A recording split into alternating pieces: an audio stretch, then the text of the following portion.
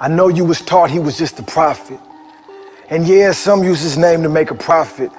But I gotta tell the world I can't stop it. Christ wasn't just merely a man. End of topic. In the Quran, Surah 2, 136, it says we believed in Allah. Now check this. You believe in what's been revealed from Abraham to Jesus, but the Bible, you say you don't believe it. You think it's corrupt, but it bears record of these men. That's the case, you might want to read this again. Surah 634, there's a contradiction. It states no one has the power to twist the words of Allah, but the Bible is fiction. Because you say these men spoke the words of Allah. So how could this be if the Bible's a lie?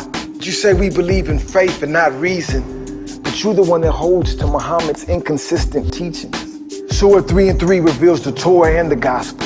So this is where it's gonna get a little hostile. Gospel, the good news, what does this mean to us? Man is born wicked, depraved, but God is just. And since we broke all his laws, he must punish. So when it comes to the wicked, you can't run from it. Try going up to a judge pleading to be set free after being charged with rape and murder in the first degree. If he's a good judge, he must sentence you. So if God is a good God, what do you think he's gonna do? You should know Muhammad wasn't even a prophet at all. So why is Islam trying to be justified by laws? I hope you get it. You see, God required lambs without spot or blemish. A perfect sacrifice is what it always represented. To be slain for the sins of men. But these animals was innocent. And all this was pointing to the Messiah, the Christ, the perfect Lamb who takes away the sins of the world, the true light. Christ says, I am the way, the truth, and the life, and no one comes to the Father but by me. And you said he's not God? Well, he said you will die in your sins unless you believe that I am he. Things seen and unseen, he possessed. Born of a virgin, begotten as a man, but always existed. That's Micah 5 2. Read John 1. Verse 1 through 10, yeah, the God's Son. He created heavens and the earth. That's Colossians chapter 1, the 16th verse. Now flip a page. Look at chapter 2, verse 9. Now, how could you not see he is divine?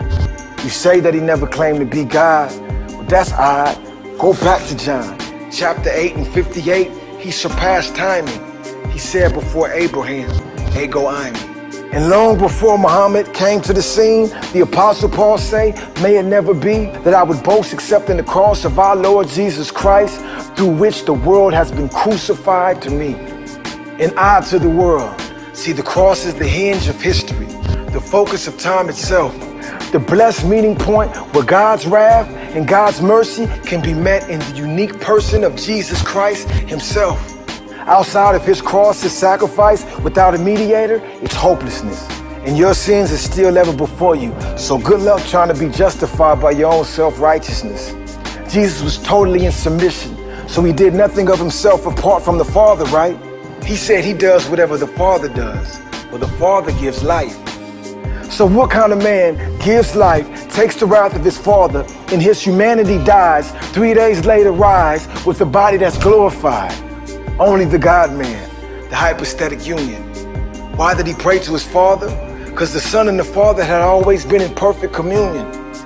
And one plus one plus one equals one triune God. What do I mean? Each person in the Trinity is fully God, Elohim. One God, three distinct persons, the same in essence. The mystery of the Holy Trinity is truly a blessing. Matthew 28 9, Christ was worshiped, and he didn't stop him because he's worth it. He told that rich young ruler, only God is good. Then in John 10 11, he said, I'm the good shepherd. Understood? Well, obviously, he didn't know who he was talking to. If he did, he probably would have sold all his precious jewels. And yeah, Christ cursed the fig tree because it didn't bear fruit in season. The tree represented national Israel. That's the real reason. The purpose of this is to hope that the blind would see. Why I love Jesus? Because his righteousness was imputed to me and my sins was imputed to him. So the Father poured out his full wrath on God the Son on that tree.